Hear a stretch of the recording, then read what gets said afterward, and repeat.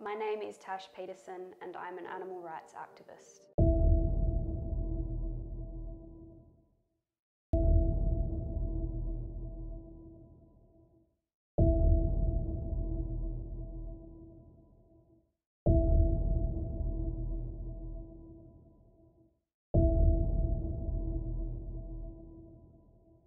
Just sort of turn those emotions of sadness and pain into passion, and that's exactly why I always speak with urgency, and that's exactly why I do my disruptions. I would rather be naked than wear someone else's skin. Of course, most of it is hatred, resilience, and abuse and harassment from the general public. Hey, dogs! What, what do you support? What do you support? What do you live on? What do you live on? Kindness? There have been times where I've literally feared for my life because I've had my home address just leaked across the internet and I've had people tell me that they're going to come and rape and murder me. The message has hit them and they're feeling either guilty or triggered or they simply just don't understand why I'm speaking up. If only they saw what was actually happening to these animals, they'd realise why I do what I do. My name's Ian. Um, I work as a uh, policy slash research officer for the Pastoralists and Graziers Association of Western Australia. Our Western Australian farmers are uh, going about their uh, routine and I might add lawful business. They don't understand uh, when they're engaged in the production of food why that is a bad thing.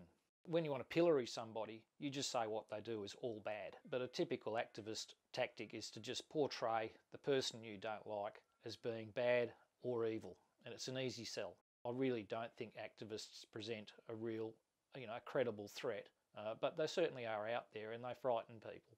It definitely takes a huge emotional toll upon me, but I always try and turn the negative energies into positive to continue my mission as an animal rights activist. I obviously get messages all the time from people around the world saying that my work has inspired them, so there's a lot of positive feedback as well. People see me as a huge figure in the whole animal rights movement across the globe and to me that seems very surreal. I've been able to reach tens of millions of people across the world.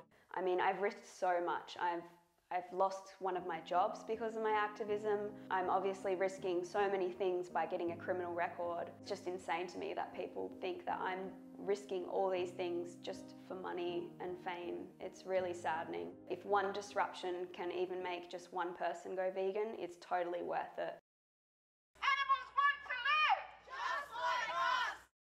I'm Dr. Marnie Lishman and I'm a health and community psychologist. Veganism is really interesting because I guess it's perceived as quite an extreme um, belief system around food intake. When you're taking a blanket approach and saying everyone needs to do this and you're pitching it in a way that doesn't really match what you're trying to the message you're trying to get across, you're going to lose people and you're going to lose interest and your message is going to be completely diluted.